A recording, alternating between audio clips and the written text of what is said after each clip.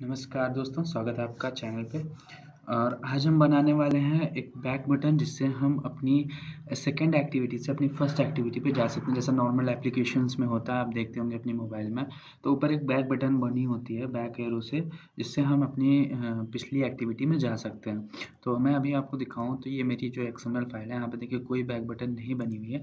ये एप्लीकेशन मैंने बनाया था, इसमें थोड़ा सा चेंज किया है मैंने, चीज़ें कुछ, ये जैसे टेक्स्ट व्यू थोड़ा सा चेंज किया है मैंने और ये कुछ ऐसे ही नॉर्मल से चेंजेस किए हैं। ये मैंने अपनी पहली वाली वीडियो में बनाया था। तो अगर आप पहले वाले वीडियो नहीं देखे हैं कि फ़र्स्ट एक्टिविटी से सेकंड एक्टिविटी पे कैसे जाते हैं और सेकंड एक्टिविटी कैसे क्रिएट करते हैं, ये सारी चीज़ें तो आप ज़रूर पहले वाला वीडियो देखिए। और अब इस वीडियो में मैं ये बताने वाला हूँ कि कैसे ऐड करना है हमें यहाँ पे एक बैक बटन। तो हम स्टार्ट करते हैं। तो इसके लिए सबसे पहले आपको ये सब करना होगा कि आप फ़र्स्ट एक्टिविटी बनाएँ सेकंड एक्टिविटी बनाएँ और उसके बाद इसको इंटेंट से जैसे मैंने मेन एक्टिविटी डॉट जावा के फ़ाइल पे यहाँ पे सारी चीज़ें लिखी हुई हैं इंटेंट ऐड करके सेट ऑन क्लिक फ़ंक्शन लगाएँ।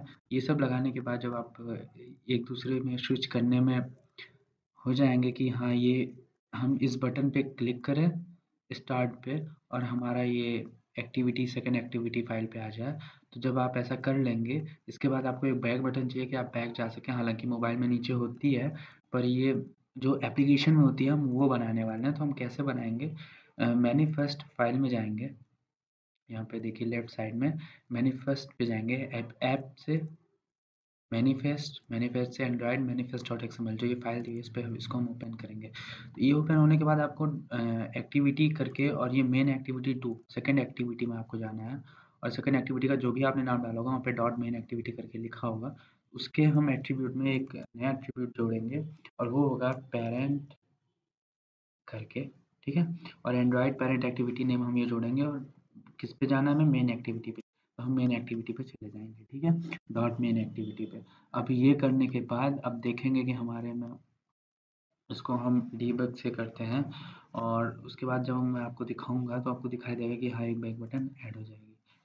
तो अभी तो मैं दिखाता हूँ आपको पहले से इंस्टॉल होने देते हैं मोबाइल में, उसके बाद आपको मोबाइल में दिखाऊँगा। और ये थोड़ा सा टाइम लेगा तो इंस्टॉल होने के बाद मैं आपको सीधे मोबाइल पे लेके चलता हूँ और वहाँ पे दिखाता हूँ कि हाँ हमारी सेकंड एक्टिविटी पे ये बैक बटन आ गई है। अब देख सकते हैं इंस्टॉल हो चुका है सक्सेसफुली अब मैं आपको दिखाता हूँ मोबाइल में ले चल के। जैसा कि आप जैसा कि आप देख रहे हैं यहाँ पे स्टार्ट बटन बना हुआ है और जब हम इस पर क्लिक करेंगे स्टार्ट बटन पे तो हम यहाँ पे सेकंड एक्टिविटी पे आ जाते हैं और यहाँ से हम नीचे से भी बैक कर सकते हैं और हम यहाँ ऊपर से देखिए बटन आ चुकी है जो कि पहले नहीं थी पर आप अब, आ चुकी है। तो हम जब इस पर क्लिक करेंगे तो हम अपने फ़र्स्ट एक्टिविटी पेज पे आ सकते हैं। तो जैसा कि आपको मैंने दिखा दिया है हमें कैसे ऐड करना है और अगर आपको वीडियो यूज़फुल लगता है तो वीडियो को लाइक करें, चैनल को सब्सक्राइब करें और ऐसे ही एंड्रॉयड स्टूडियो जावा और एप्लीकेशन ऐसी टेक्निकल चीज़ों पे मैं वीडियो बनाता रहूँगा और आपको सेंड करता रहूँगा।